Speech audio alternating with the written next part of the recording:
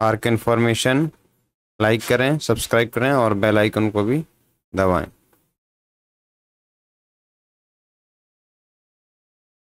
नमस्कार दोस्तों। आज मैं जानकारी देने वाला हूँ कि मेडिकल ऑक्सीजन क्या है, जो पेशेंट को दी जाती है। वो ऑक्सीजन क्या है, किस टाइप की होती है।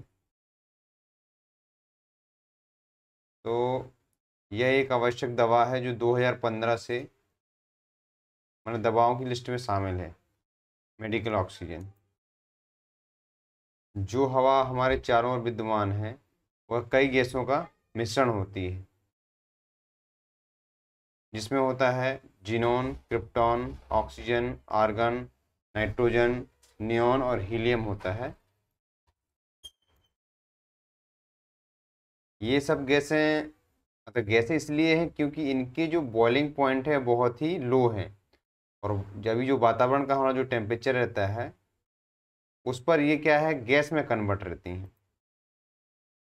मेडिकल ऑक्सीजन जो है, हमारे चारों ओर मौजूद हवा में से शुद्ध ऑक्सीजन को अलग करके बनाई जाती है। और हवा में पाई जाने वाली गैसों के बॉइलिंग पॉइंट इस टाइप के हैं। देखिए, बता रहा हूँ आपको। ये जीनोन है, इसका minus one eight one hundred eight on Celsius है। क्रिप्टान का minus one fifty three point two on Celsius है। ऑक्सीजन का minus one eighty three point zero on Celsius. Argon का one minus one eighty five point nine nitrogen का minus one ninety five point eight और neon का minus two forty six point one और helium का minus two sixty eight point nine on Celsius. इनके boiling point है।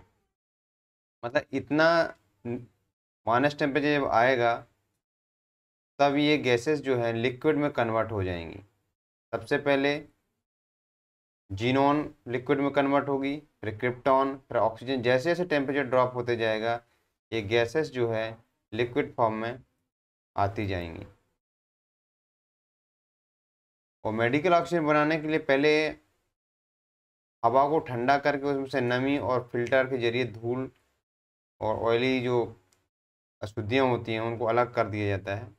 और जैसे जैसे तापमान को कम होते जाता है, गैसें अपने बॉइलिंग पॉइंट के से नीचे के तापमान पर लिक्विड में, तरल में बदल जाती हैं, जिसमें से ऑक्सीजन को अलग कर लिया जाता है। एवं क्रायोजेनिक टैंकरों में भरकर डिस्ट्रीब्यूटर तक भेजा जाता है। और इस यह जो प्रोसेसिंग होती है ये हाई प्रेशर में होती है ताकि हमको गैसों को और ज़्यादा ठंडा ना करना पड़े। माने बॉइलिंग पॉइंट जो है, है इनके बढ़ जाते हैं। माने ज़्यादा माइनस टेम्परेचर से पहले ही ये गैस में लिक्विड में कन्वर्ट हो जाती हैं। और जो गैस हम अलग करते बनाई जाती है वो ninety nine point five percent pure होती है शुद्ध होती है। अब एक अलग बात यह है नॉर्मली जो है, पर्स, एक पर्सन है रिलैक्स कंडीशन में सात से आठ लीटर एयर पर मिनट लेता है। मतलब पर डे कितना लेगा? Eleven thousand litre air per day लेगा। और जो हम सांस लेते हैं, सांस वाली जो हवा लेते हैं, उसमें क्या आता है? बीस परसेंट ऑक्सीजन होती है। एवं छोड़ने वाली हवा में पंद्रह परसेंट ऑक्सीजन होती है। यानी सांस द्वारा ली गई हवा का पाँच परसेंट ही हम इस्तेमाल करते हैं। और यही पाँच परसेंट ऑक्सीजन है जो कार्बन डाइऑक्साइड में बदलती है।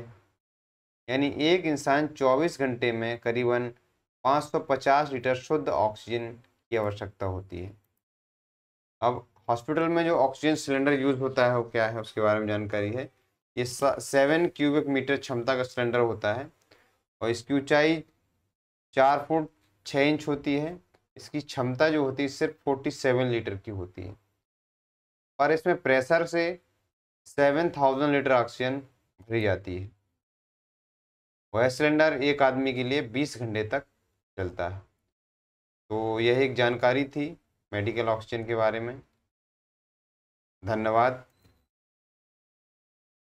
आर्क इन्फॉर्मेशन लाइक करें सब्सक्राइब करें और बेल आइकन को भी दबाएँ